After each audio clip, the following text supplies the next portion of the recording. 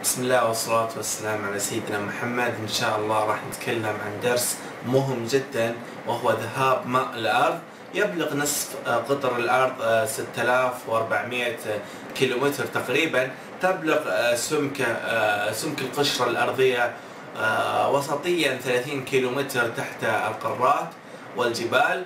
ولكن تصبح بحدود 5 كيلومتر تحت قاع المحيطات والبحار. وهذه الطبقة هنا رقيقة وقابلة للكسر آه، ولذلك آه، تنقسم القشرة الأرضية إلى 12 لوحا وأكثر. ولذلك فإن آه، كتل هائلة من البحار تنزلق من قاع المحيطات وتقوص في أعماق الأرض.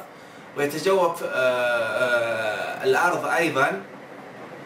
يقول العلماء يحسون طبعا بتخوف من ذهاب كميات من الماء آه، العذب عميقا في الأرض وعدم تمكن البشر من الاستفادة منه.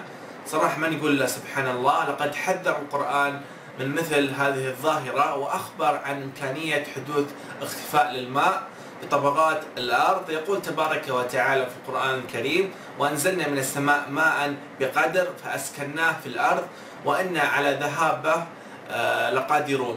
سورة المؤمنون آية 18 وأيضا يقول تبارك وتعالى في القرآن الكريم قل أرأيتم آه، إن أصبح ماءكم غورا فمن يأتيكم بماء معين.